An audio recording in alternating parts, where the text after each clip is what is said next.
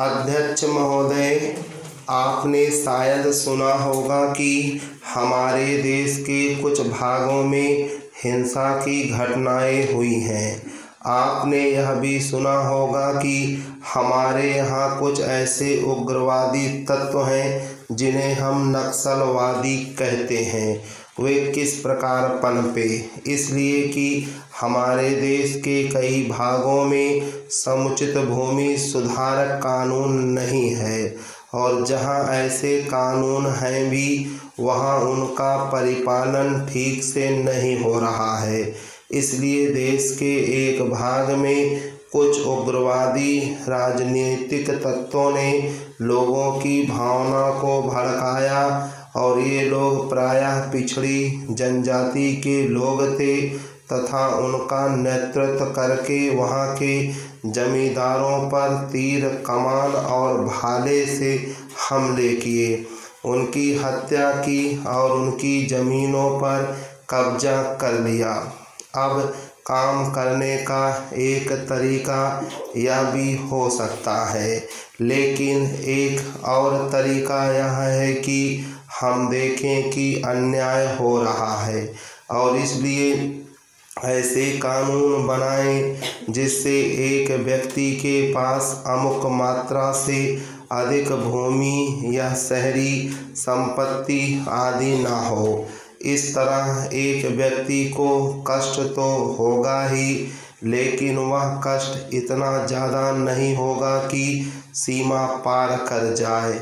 क्योंकि शेष सीमा में भी उसकी मज़े से गुजर बसर होती रहेगी।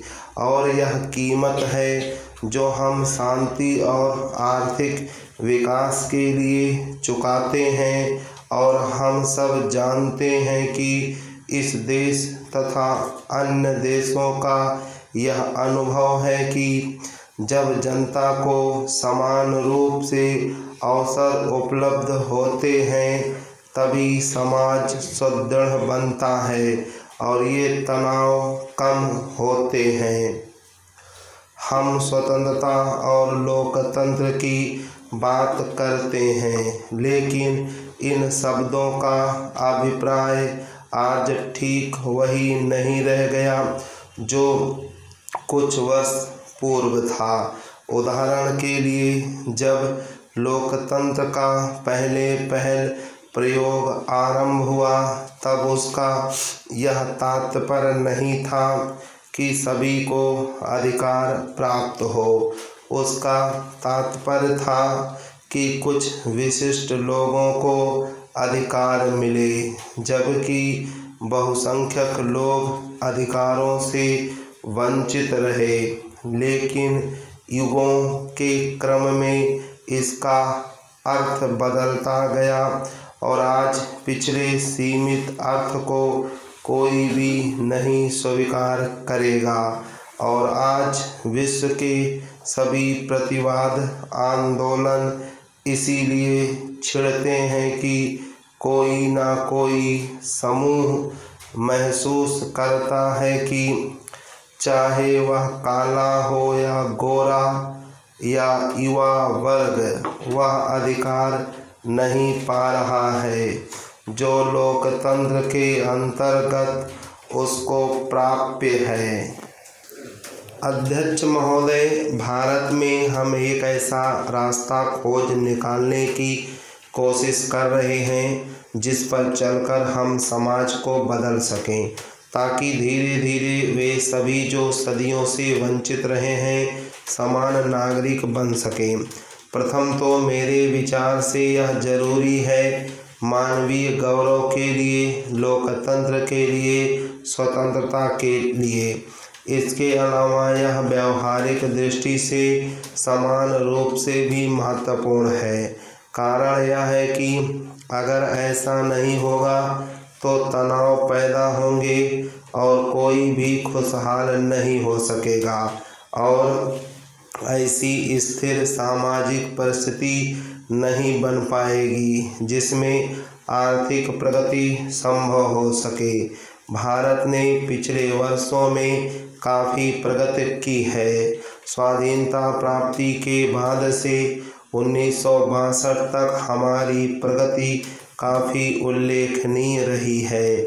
उन्नीस सौ बासठ में चीन के साथ सीमा विवाद को लेकर हमें संघर्ष में उलझना पड़ा और विकास की बजाय रक्षा की ओर ध्यान केंद्रित करना पड़ा और सैनिक मजबूती के लिए काफ़ी धन लगाना पड़ा, जिसे हमारे लिए नितांत आवश्यक सड़कों स्कूलों तथा अन्य कार्यों में लगाया जा सकता था, क्योंकि उस समय तक हमने देश की रक्षा की ओर कतई ध्यान नहीं दिया था। उन्नीस सौ पैंसठ में पाकिस्तान के साथ हमें फिर संघर्ष में उलझना पड़ा और हम उसके भारी व्यय से उबर भी ना पाए थे कि भयंकर सूखा पड़ा। तीन वर्ष तक वर्षा नाम मात्र की ही हुई और अचानक हमें अकाल जैसी स्थिति का सामना करना पड़ा। लेकिन यह हमारी जनता के साहस, धैर्य तथा उनकी सहयोग भावना का परिचायक है कि इतनी निराशापूर्ण स्थितियों के बावजूद अकाल से एक भी मौत नहीं हो पाई। निसंदेह, अमेरिका से हमें बहुत सहायता मिली। अन्य देशों ने भी सहायता की। स्वयं सेवी संगठनों ने सहायता दी और वह एक ऐसा समय था जब हम कृषि के नए तौर तरीकों की शुरुआत कर सके।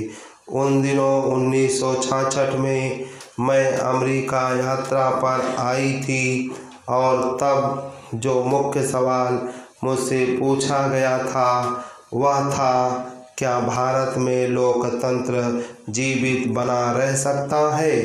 क्या आप बढ़ती हुई आबादी के लिए खुराक जुटा सकती हैं? क्या बाद में हमने अखबारों में ऐसी सुर्खियाँ भी देखी? भारत जीवित रह सकेगा? आप सबने देख लिया है कि भारत आज भी जीवित है। वहाँ लोकतंत्र की जड़ें बहुत मज़बूत हुई हैं और आज गेहूँ, चावल जैसे अनाजों की हमारी उपज पर्याप्त है।